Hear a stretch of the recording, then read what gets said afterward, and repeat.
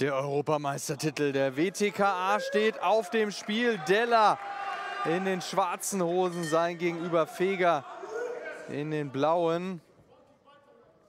Ganz erfahrener Mann, Feger. 99 Gefechte bereits bestritten. Aus Dornstetten hier angereist nach München. Will es noch mal wissen. Sein Gegenüber Della. Einer der aufstrebenden Kickboxer hier aus der Stadt, aus der Region schaut sich das Ganze erstmal an.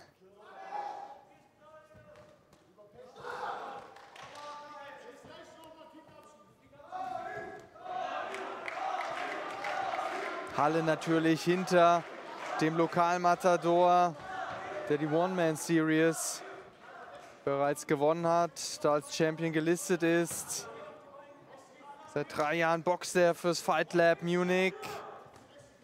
Wirkte extrem locker vor dem Kampf.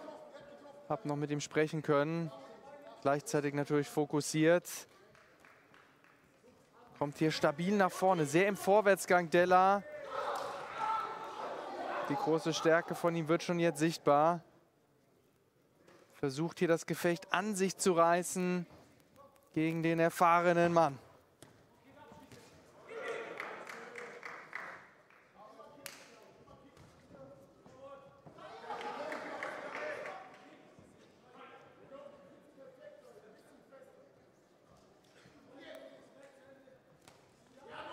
25 Sekunden noch. Keine ganz klaren Treffer bisher. Aber Della im stetigen Vorwärtsgang. Deswegen liegt er aus meiner Sicht in dieser Runde hier vorne. Letzten Sekunden.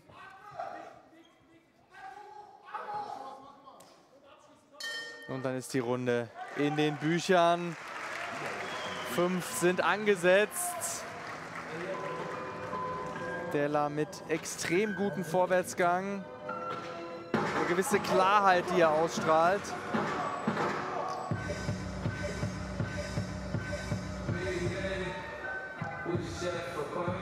Sein Gegenüber kriegt erstmal zugewedelt.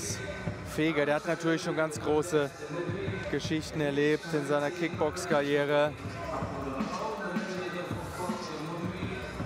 Wird spannend zu sehen sein, ob auch eben die Ausdauer hier noch ein Faktor sein wird. Della, der deutlich jüngere Krieger.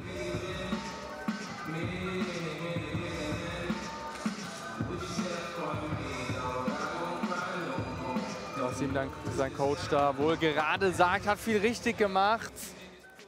Wir kommen zur Runde 2.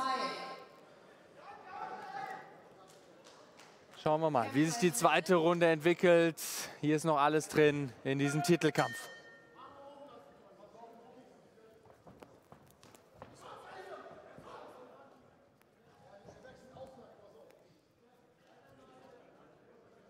Feger immer wieder am Auslage wechseln.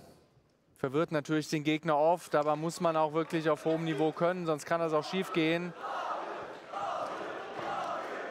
Della versucht den Körper zu attackieren. Deckung ist da relativ dicht, aber da ist ordentlich Wumms dahinter, hinter den Schlägen.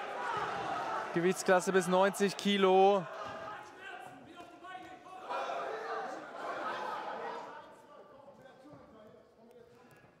Exzellentes Kickboxen hier in München-Trudering. Und Della hat ihn da jetzt an den Seilen. Feger muss da weg. Sonst wird es zu einfach für den Mann aus München-Sendling. Wenn man davon überhaupt sprechen kann. Von einfach hier in diesem Kickboxring.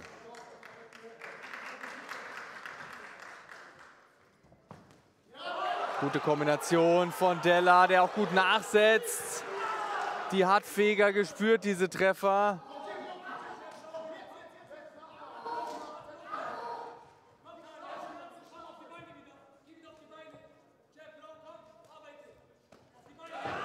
Ah, und der geht auf die Beine und dann ist da der erste Niederschlag.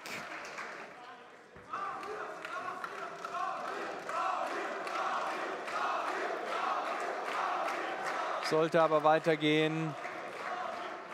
für den erfahrenen Mann, der sich jetzt auch sicher in die Rundenpause retten kann. 15 Sekunden noch. Della strahlt eine Ruhe aus. Nächster guter Treffer. Das sind sehr seriöse Absichten, die der Mann aus München-Sendling hier hat. Dann rettet aber die Rundenpause. Scheint eine klare Geschichte zu werden für Della. Intern ja auch als Spaßvogel verschrien beim Fight Lab Munich. Hat viel Humor, aber im Ring ist die Sache dann doch eher ernst.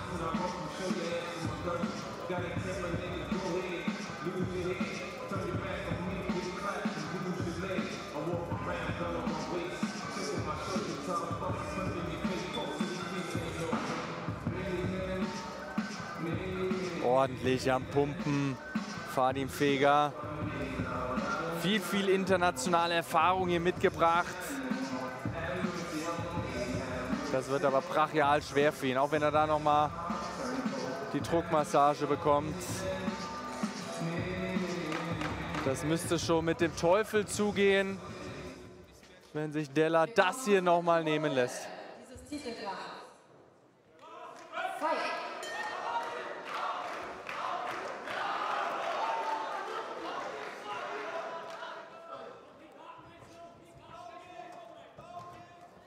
Und da ist der nächste Wirkungstreffer, rechter Haken zum Kopf.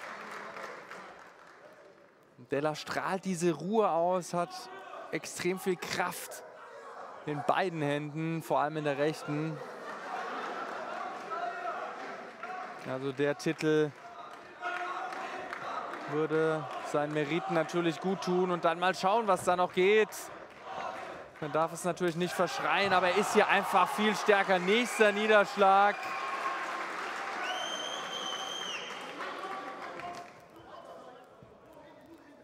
Wird als Ausrutscher gewertet.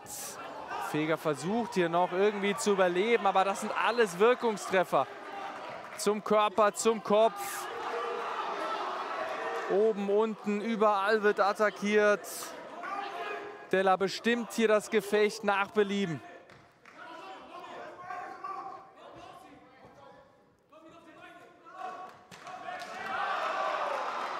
Und da muss er fast schon wieder das Knie nehmen mit all seiner Erfahrung schafft es Feger hier irgendwie über die Runden zu kommen, im wahrsten Sinne des Wortes.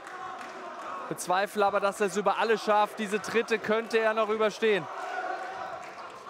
Immer wieder Haken zum Kopf, zum Körper.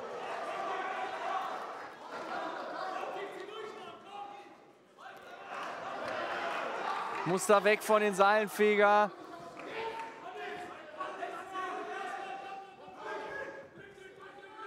Aber dass er hier noch steht, ist schon eine kleine Sensation nach diesen Treffern hier.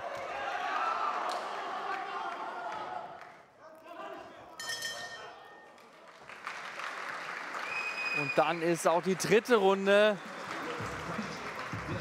in den Büchern Round in the Books, wie man so schön sagt im Amerikanischen.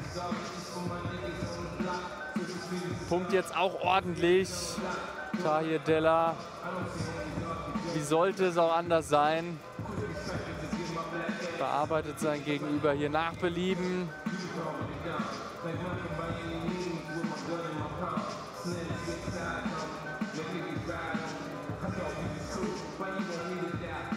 was Feger gut macht, er setzt hier all seine Tricks ein, all seine Erfahrungen, um da noch möglichst vielen Schlägen auszuweichen, den Schlägen irgendwie die Wirkung zu nehmen an den Seilen durch gute Oberkörperbewegung. Aber insgesamt ist das hier ein Klassenunterschied. Bisher hat schon viele Sensationen gegeben, auch im Kickboxen. Und wir kommen zur Runde 4.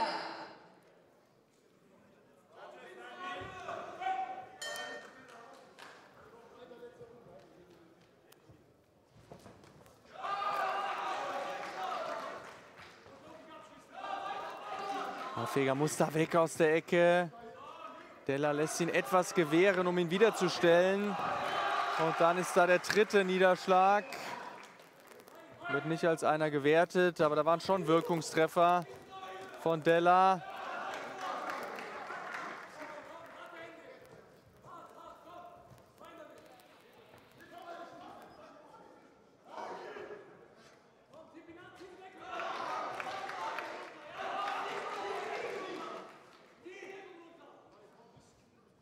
Das ist ein Ringfuchs, Fadim Feger. Der weiß auch hier, seinem Gegenüber an Kraft kann er ihm nichts mehr entgegensetzen. Aber irgendwie hier über die Runden kommen, das will er schaffen. Schlägt auch immer noch zurück.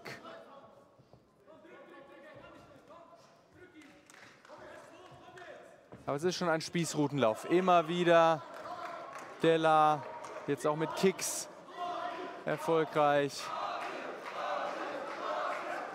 Kann das wirklich bis zum Ende gut gehen?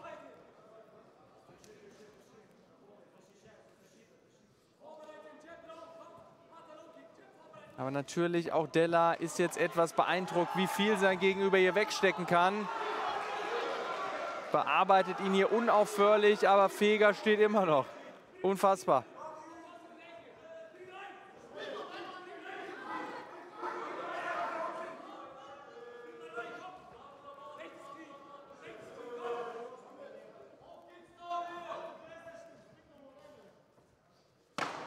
Letzten zehn Sekunden der vierten Runde. Wir gehen hier tatsächlich in die letzte. Wer hätte das nach diesem dominanten Auftritt in Runde 2 von Della gedacht? Aber es ist ja auch ein Genuss, wenn man schon mal hier reinschaltet bei Fight 24 beim Kickboxen aus München-Trudering. Dann kann man noch mal fünf Runden genießen.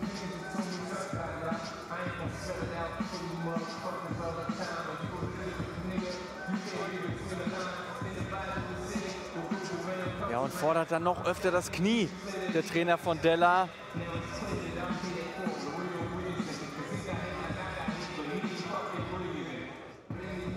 Aber der ist jetzt auch ordentlich am Pumpen. Tiefe, tiefe Atemzüge. Kann Feger hier noch mal irgendwas entgegensetzen? Auch das ist eine große Frage.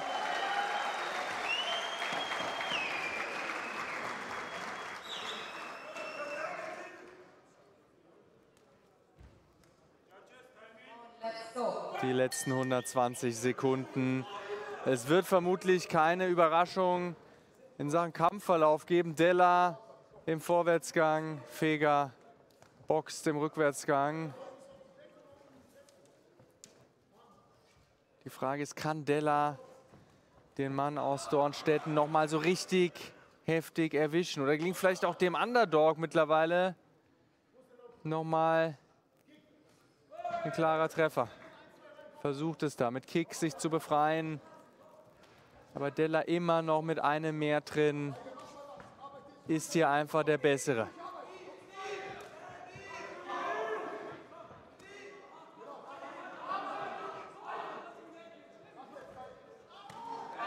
Oh, schöner Körpertreffer vom Münchner Krieger.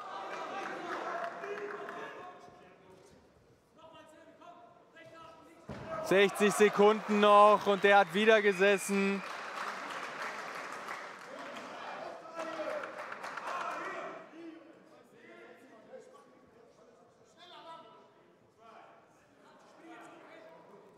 Schönes Bild, Della geht entspannt in die Ecke, lässt seinem Gegner da mehr Zeit, sich zu erholen, weil er weiß, er hat alles im Griff scheinbar.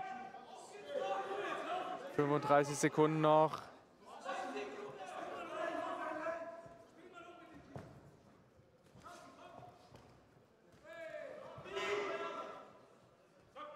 Immer wieder zum Körper. Was dieser Feger hier weggesteckt hat, ist beachtlich. Allerdings wurde er von Della auch weggefegt. Das muss man auch sagen. Klassenunterschied hier im vorletzten Kampf des Abends. Als nächstes haben wir noch den großen Titelkampf mit einem der Hamras-Brüder, Malvand Hamras gegen Slobodan Vukic. Das wird dann der größte Fight des Abends. Dieser hier hat einiges geboten.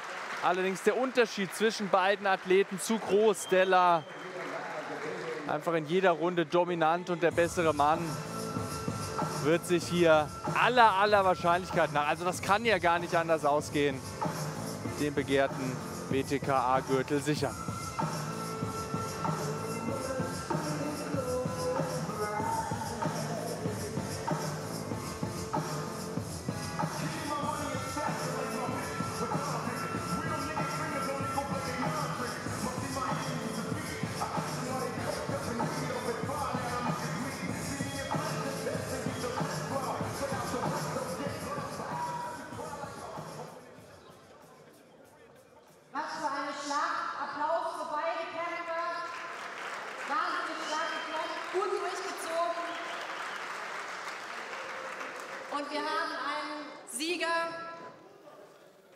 Unseren neuen WTKA-Europameister.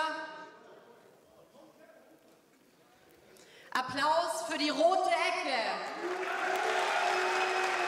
München-Sendling hat ein Kickbox-Europameister. Taje Della sichert sich den begehrten Gürtel hochverdient. Ein Kampf haben wir gleich noch in petto. Hat fünf Runden Short Notice Aber jetzt erstmal einer der. Veranstalter Ähm, Ring. im Ring, der den. Gürtel höchstpersönlich Bruder, übergibt. Wir sind da dann gleich wieder da mit Hamras gegen Vukic. Bleibt dran hier auf wir nehmen Fight 24. Wir brauchen dich.